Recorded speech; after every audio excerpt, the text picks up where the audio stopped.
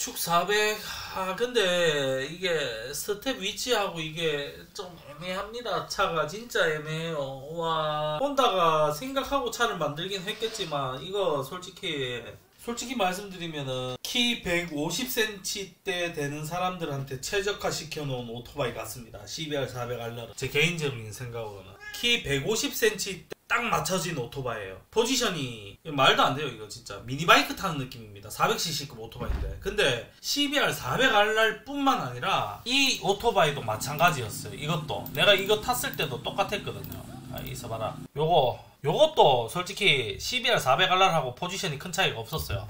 CBR 400 아, CBR이 아니고 GSX R400 GK76A 얘도 CBR 400RR하고 포지션이 큰 차이가 없거든요. 다만 다리 하체에는 차이가 없는데 상체가 많이 뻗어야 돼요. 핸들하고 거리가 탱크하고 거리가 상당히 먼 편이라서 하체는 약간 쪼그려 앉은 위치에다가 이렇게 나가서 앉아야 돼. 약간 어떻게 보면은 억지로 알차 자세를 가다 담았다 해야 되나? 근데 CBR 400RR도 이 정도까지는 아니지만 거의 비슷해요. 벌그지 백스텝이요. 일단은 NC29 400RR 백스텝 달수 있는데 백스텝이 이게 백스텝이 그냥 뒤로만 백스텝이 아니고 위로 올라간 백스텝이라서 백스텝을 백스텝 플레이트를 제작하셔야 돼요. 가능합니다, 코나니머스님. 개조 제작 가능하니까. R400기가 없어요, 우리나라에. 지금 다 소장각 들어갔습니다. 나도 지금 R400기를 갖고 싶은데, 지금 이미 R400기를 가지고 있는 아저씨들, 콜렉터들한테 지금, 어? 부비적, 부비적 비벼가지고, 성님들, 어? 동생한테 하나 좀 던져주시면 안 되겠습니까? 요 해가지고, 이렇게 들어가야 되는 상황이 됐습니다, 지금.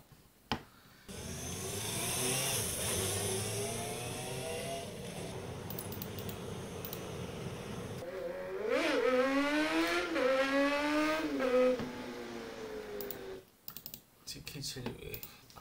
어! 내가 간방 250 지금 가지고 오고 싶은데.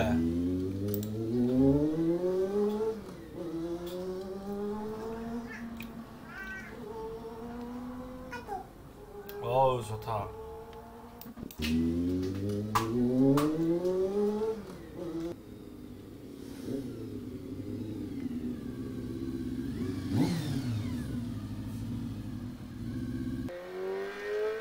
내가 그렇다고 혼자에 넘어갈 거겠습니까?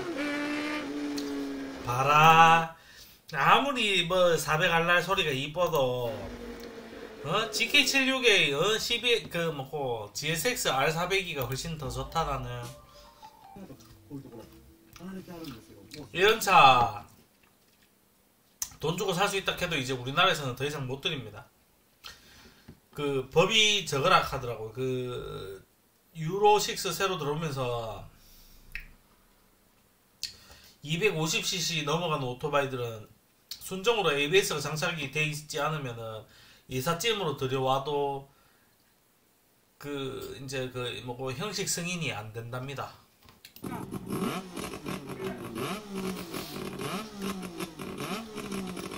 사0 0 c c 4기통은 근데 확실한 건지는 모르겠습니다. 근데 저도 같은 엔진이에요. 근데 차대하고 이런 게 많이 다른데 엔진만 swap한 것 같습니다.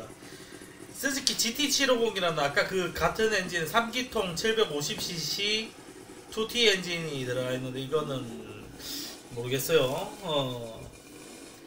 0708 GSX R 시리즈의 페어링을 채용을 하고 있고 뭐 이상한 차입니다 이거. 아 GS400에다가 폭간을 꼽아두시고